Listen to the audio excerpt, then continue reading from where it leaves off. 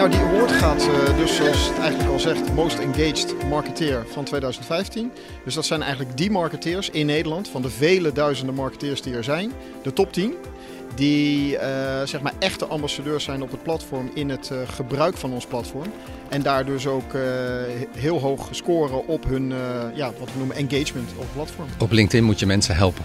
Door ze te verwijzen, te helpen aan een stageplek, door ze naar andere bedrijven toe te brengen, dat soort dingen. Dus echt netwerken.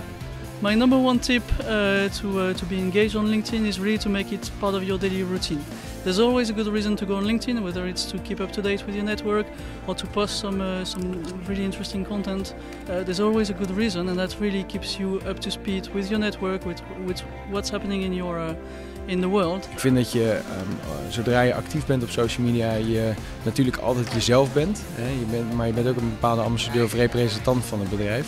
Dus ik vind ook dat je in die zin ja, het bedrijf um, goed neer moet zetten en daarom goed voor je eigen profielpagina moet zorgen voor hoe je overkomt. Medewerkers van de organisatie die zeg maar social actief zijn, die uh, helpen daarmee inderdaad ook om het bedrijf neer te zetten op het uh, social platform. Ik vind het heel erg belangrijk om te weten wat er speelt bij andere marketeers, waar zij mee zitten. welke oplossingen zij zoeken. My number one tip would be to be part of the conversation at all times. You don't have to create content yourself, but you can leverage the people you follow within LinkedIn. You can share their content, you can comment. Mijn tip voor uh, om meer engagement te krijgen op LinkedIn is om uh, berichten te posten die dicht bij jezelf staan.